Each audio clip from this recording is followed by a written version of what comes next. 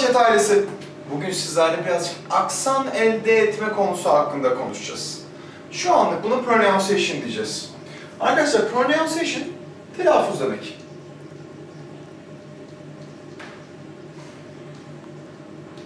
Kimler Amerikan filmi izliyor? Ben çok üzüyorum. Birazcık bu kelimeleri yutup ağızlarını gevelemeye bayılıyor bu Amerikanlar. Nasıl Amerikan aksanına sahip olacağız? Bugün onlardan bahsedeceğim. Sizlere birkaç tane günlük hayatınızda kullanabileceğiniz pronunciation rule, yani telaffuz etme kuralı vereceğim. Bunları uygularsanız neden bir Amerikan olmuyorsunuz? Hadi başlayalım.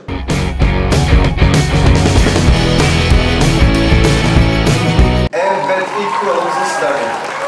ING rule. Bu ING her yerde buluyor. Bir de active almış başını diyor. Ama bu ING'nin küçük bir sırrı var. Mesela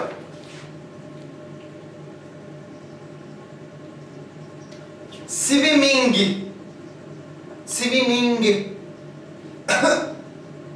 Burada bir tuhaflık arkadaşlar. Bir şey benim söylememi zorlaştırıyor. Baktığımda da son ING takısında olduğunu görüyorum. Arkadaşlar bir telaffuz kuralı der ki G'de sessiz olun. Nasıl yani? Swimming demek yerine swimming. Daha kolay söyledim gördünüz mü? Mesela Araş, do you like swimming? Yup. Evet arkadaşlar. Her ing ile biten kelime eylem olmak zorunda değil demiştik. Interesting. Interesting bir adjektiftir yani sıfattır. İlginç anlamına gelir. Ben interesting diyemiyorum. Boğazım çok zorluyor. O yüzden interesting demek istiyorum. Ee, burada ben size bir kalıp göstermek istiyorum. How interesting.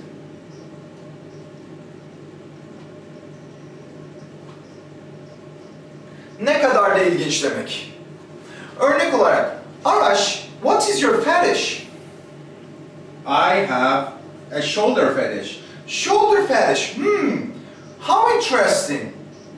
Dikkat ettiyseniz interesting diyemedim. Deseydim şöyle derdim. How interesting. Söylemesi çok zor oluyor. Arkadaşlar unutmayın.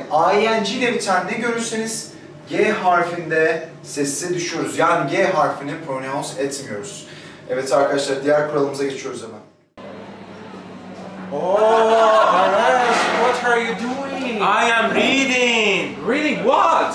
Reading book. Okay, what is our manager doing? He is fixing a coffee machine. Wow, great. What are they doing? They are talking to each other. What is she doing? She is watching us. Very good. Bye. Bye. Hello. Hello. Hello. Kayıt kayıt. Arkadaşlar bu işte bir tuhaflık var ya. Hello. Hello. Hello. Hello. Hello. Ya bana çok Amerikan gibi gelmedi bu. Burada bir tuhaflık var. Arkadaşlar benim çok sevdiğim bir eee harf var İngilizce'de. Buna L. Magical L kuralı deniyor. Yani L harfinde ben Türk gibi kullanmak istemiyorum. Unutmayın Türklerin dili sabittir arkadaşlar. Sadece sağa sola hareket eder. Ama İngilizce'de biz bir tam tur attırmamız gerekiyor bunu. Eee dürüm yiyen var mı aranızda? Okan dürüm yiyor musun? Yes. Hah, ben de dürüm çok severim. Dilinizi L harfindeyken bir dürüm yapmanızı istiyorum arkadaşlar. Yani L, L. Dilinizin bükülmesini istiyorum. Burada sabit bir kuralı yoktur. Buna da magical L kuralı denir. Yani hello çok Türkçe geliyor bana. Ama hello biraz daha seksi oldu değil mi arkadaşlar? Hello. Her L gördüğünüzde dilinizi bükmenizi istiyorum. En basit örneği dediğim gibi hello. Hello. Birazcık aksan katıyor sizlere. Mesela lazy. Lazy. Lazy. Sevdin mi araç bu söylemi? No. Yok, ben de sevmedim. Şöyle desek peki. Are you lazy? Yup, I am lazy. Me too guys, I am lazy. Gördüğünüz üzere L sesine bir vurgu yapıyorum ve dilini büküyorum. Lazy. Lazy. Evet arkadaşlar, lazy'den de bahsettik şimdi. Şimdi de başka bir kelimeden bahsetmek istiyorum. Romantik bir e, bitki bu. Ha çiçek. Flower. Flower. Flower demiyorum bakın. Flower. Bu sizi hızlandırır arkadaşlar. O yüzden daha kısa bir versiyonu L'yi bükerek söyleyebiliyorsunuz. Flower. Flower. Arash, do you smell flowers? Yup, I smell green flowers. Green flowers. Yes, I smell green flowers. Unutmayın arkadaşlar, buradaki L'de dilimi büktüm. Dürüm yaptım yani. Dürüm burada aklınızda kalıcı rol oynasın sizlere.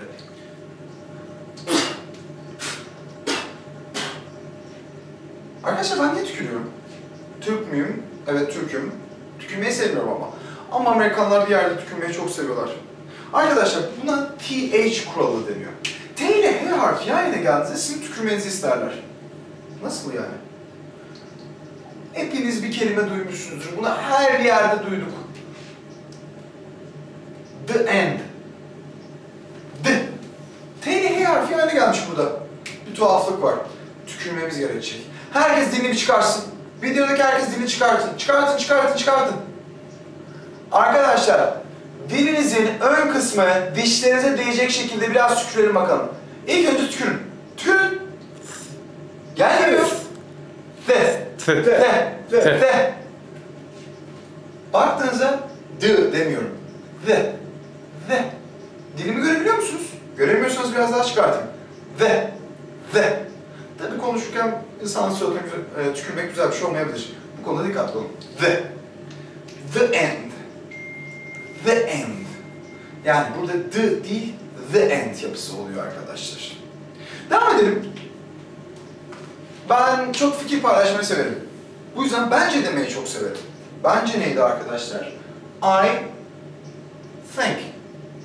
Bakın I think demiyorum. T, t demiyorum.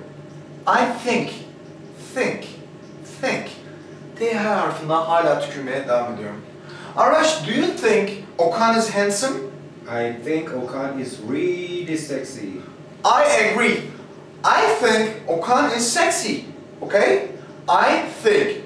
I think. Unutmayın Amerikanlar bunu bastırarak yapmaya devam ederler. Aksi takdirde sizi anlamayabilirler. Hadi bir örnek daha verelim sizlere arkadaşlar.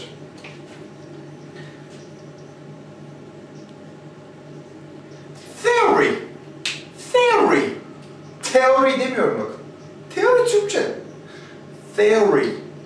Theory. Tükürmeye devam edin arkadaşlar. TH kuralı bu kadardı. Örnekleri izleyelim. Oh, Arash, by the way, how is your father? Is he better? Yes, my father is good. He is really fine. Great. Sorry, what time is it? It's 3:34. 3.34. Yes. Okay, great. So, keep going. I will Thank go. you. Bye Thank bye. you. Bye. Um, Okay everyone, if you liked today's expression and if you have any question, please leave your comments and your questions on the comment parts. Please don't forget to subscribe and like our video. Have a great day everyone. Don't forget, it's chit chat.